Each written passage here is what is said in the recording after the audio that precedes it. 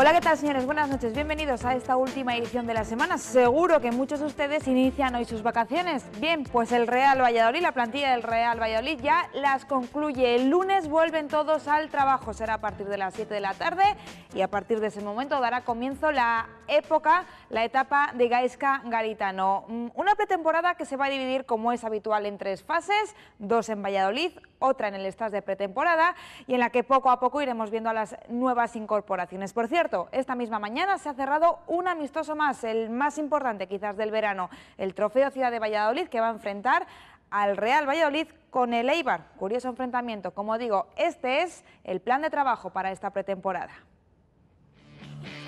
El Real Valladolid ya tiene su plan de trabajo para la pretemporada.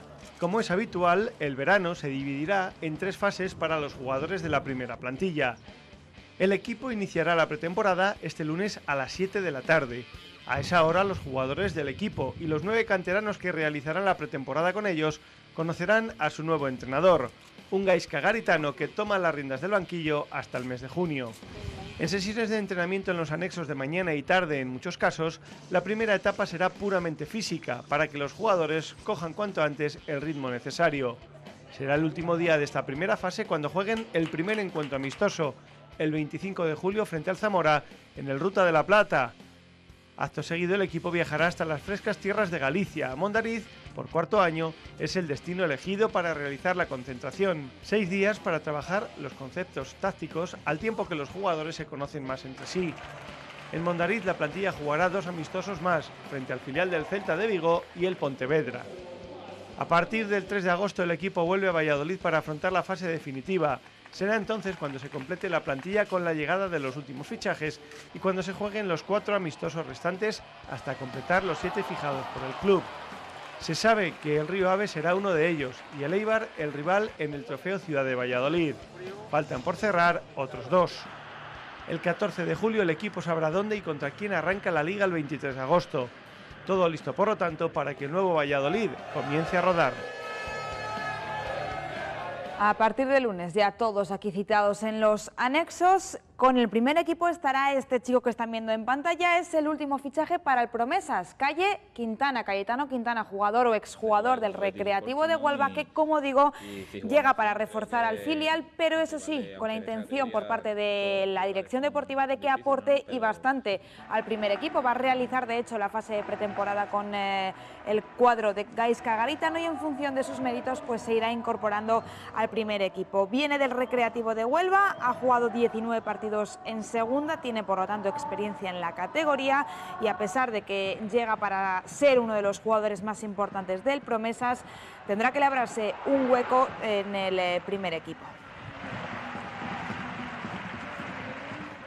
Y hoy les damos tres nombres que se han vinculado al Real Valladolid, aunque parece que el club solamente se ha interesado por uno, que es por este jugador que ven Nagore, le conocerán muchos, central del Alcorcón, de 34 años, y que podría interesar al club, pero eso sí, no es la opción prioritaria. Confirmado por el propio Braulio Vázquez, el director deportivo ha reconocido, nos ha reconocido que se han interesado por el madrileño, pero eso sí, antes están buscando otras opciones para la defensa. Otros dos jugadores también vinculados en las últimas horas al Valladolid han sido Borja García, media punta de 21 años del Real Madrid, que ahí están viendo en pantalla, que ha jugado cedido en las últimas temporadas en el Córdoba, y Silvester Igbur, un delantero nigeriano de 24 años que juega en Dinamarca. Ninguno de los dos van a llegar, por lo menos de momento. El propio Braulio Vázquez ha desmentido el interés por ambos.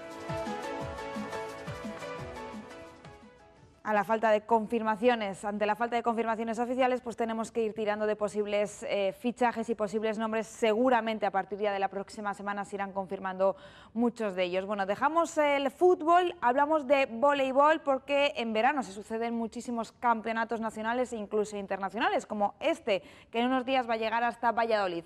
Hablamos del campeonato por selecciones, eh, tanto sub-19 como sub-17 de volei, que a partir del día 15 y hasta el 18 es decir, durante cuatro días se va a jugar en el escenario que están viendo, en el Polideportivo Pisuerga. Hablamos del Campeonato de Selecciones Sub-19 masculina, que traerá hasta ocho combinados nacionales y el Campeonato de Selecciones Sub-17 femenina, que juntará en Valladolid a seis selecciones.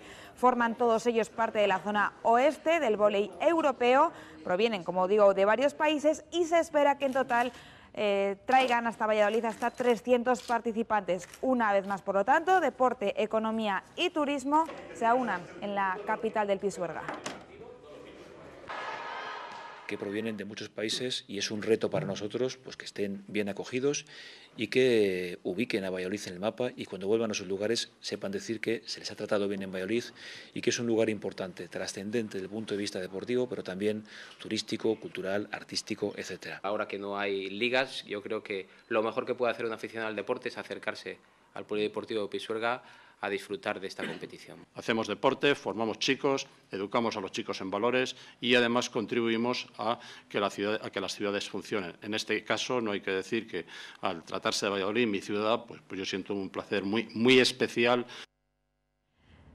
Bueno, y si ustedes no tienen plan para este fin de semana, les proponemos uno muy divertido y para toda la familia. Además, no hace falta ser experto. Se trata de La Roca, unas instalaciones modernas eh, para hacer deporte al aire libre, como mm, bueno, eh, piragüismo, submarinismo o incluso escalada, que están en Valencia, aquí al lado, y que, como digo, puede hacer todo el mundo. Nosotros mismos hemos estado hace unos días y hemos comprobado que la Fundación Eusebio Sacristán quiere dar a conocer el deporte de aventura y al aire libre a todo el mundo. Vean. La Roca es el centro de prevención de riesgos que hace ya varios años puso en marcha la Junta de Castilla y León, unas instalaciones donde encontramos actividades por agua y por tierra, con el único objetivo de hacer deporte de aventura. Estas instalaciones están en Palencia y ahora es la Fundación Eusebio Sacristán la que ofrece multitud de posibilidades a niños y mayores. En solo una instalación puedes hacer hasta 12 actividades. Puedes hacer barranquismo, eh, buceo, eh, escalaba en el agua, que es una técnica que se llama psicoblock. Y es que en un principio la roca se creó para que profesionales tuvieran un lugar donde practicar los deportes que más les apasionan. Ahora la roca ofrece un plan de actividades para cualquier persona que quiera tomar un primer contacto con estos deportes. Vienen aquí y con nosotros pueden aprender a hacer todas las actividades a nivel que quieran. Y les vamos ofreciendo retos para que ellos vayan cumpliendo y avanzando en lo que quieran a lo mejor son actividades que desde fuera ves que te dan un poco de respeto porque no tienes la, posibilidad o irte a la montaña, o irte al bar, o irte a un barranco, vienes aquí, practicas las mismas actividades y, lo haces en el mismo sitio que en la naturaleza. Tal y como hemos comprobado nosotros mismos, ahora grupos de amigos o colegios pueden venir hasta La Roca para disfrutar, conocer y vivir el amor por los deportes al aire libre.